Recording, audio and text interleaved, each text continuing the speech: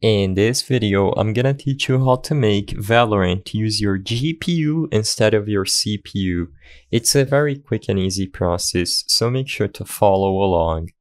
If you are encountering problems with Valorant not properly utilizing your graphics card or graphics processor in your computer, what you have to do is go to your desktop after closing out of the game and right clicking anywhere on your desktop. In here, select Display Settings. After you load into the system display settings, scroll down until you find the graphics options. As you can see, I'm doing this on Windows 11, however, the process is mostly the same on Windows 10. If you cannot find the graphics settings, just look for display settings or graphics settings on the Windows Start menu. After you arrive at the graphics setting, you should have a list of all your games in here. As you can see, I don't have Valorant, but I'm just going to demonstrate this with Devil May Cry 5.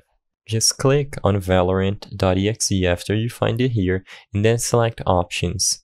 In here, you should have your CPUs and GPUs listed. Simply select the one option that contains your GPU, which should be high performance. After you select high performance, just save the options to Valorant and the next time you run, it is going to properly utilize your GPU. I hope I was able to help you on how to make Valorant use your GPU instead of your CPU. If this video helped you, please be sure to leave a like and subscribe for more quick and easy tips. Thank you for watching.